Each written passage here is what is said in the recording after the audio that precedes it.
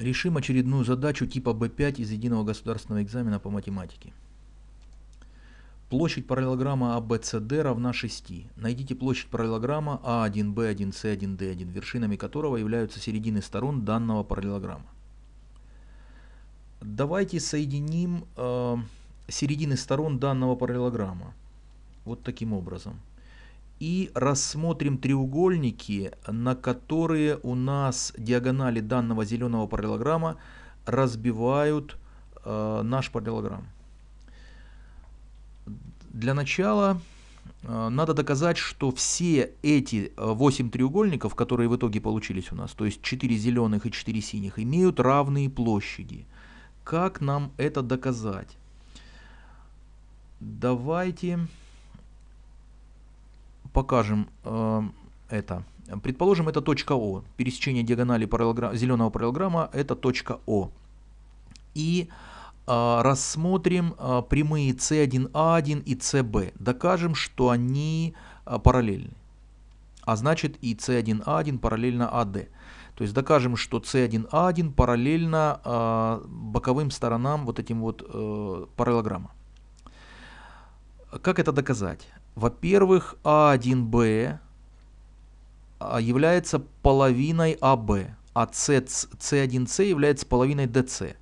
А половинки равных сторон АБ равно ДС, так как это параллелограмм, а половинки равных сторон равны друг другу.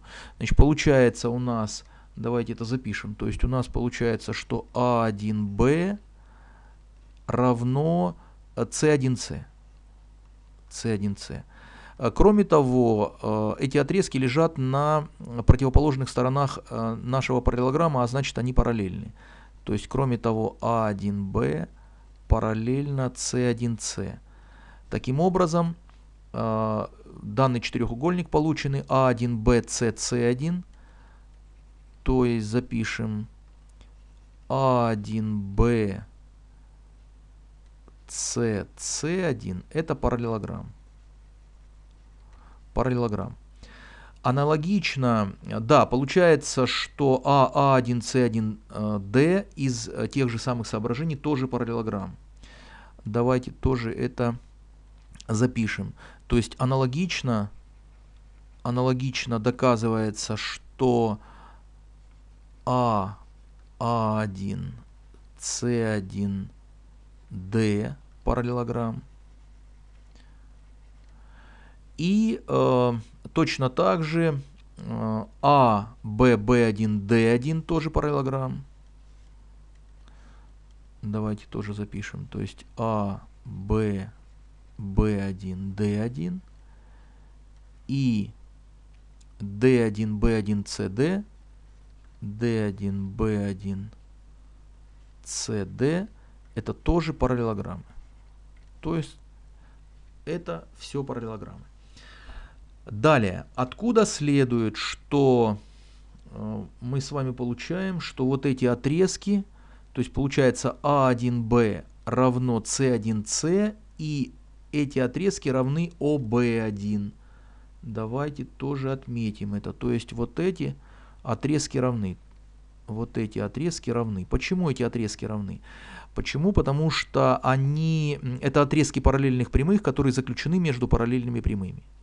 То есть отрезки, как отрезки прямых заключенных, давайте запишем. То есть отрезки э, А1, Б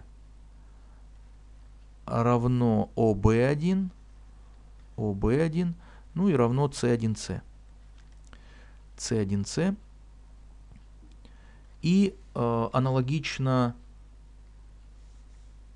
мы с вами имеем вот с этой стороны у второго параллелограмма, что АА1 из тех же соображений равно D1O и равно DC1. То есть, ну, здесь мы запишем только D1O. Нам этого будет достаточно. И равно D1O. А, в принципе, можно было это а, доказать по-другому, но неважно, сейчас уже так.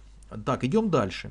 Теперь аналогично а, доказывается, тоже это запишем отдельно, что у нас вот с этой стороны, да, вот эти А1, Д1 равно А1О и равно bb1, ну, естественно, равны d1d, oc1 и b1c.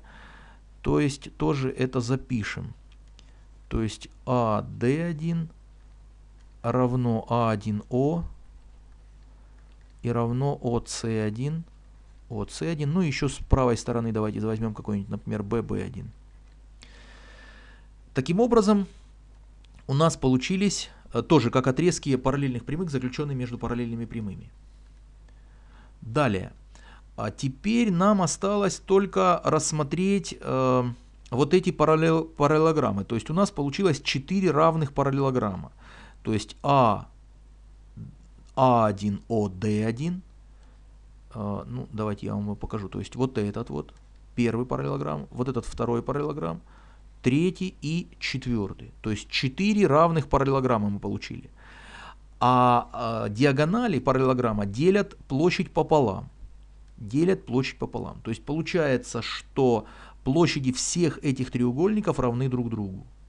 Площади всех треугольников равны друг другу. Давайте тоже это покажем. То есть мы, э, давайте запишем так. То есть площадь первого треугольника равна площади второго.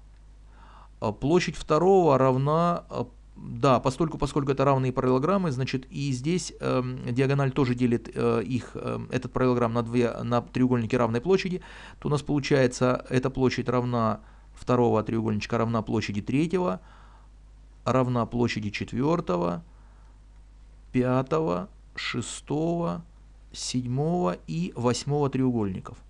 То есть все эти площади равны друг другу.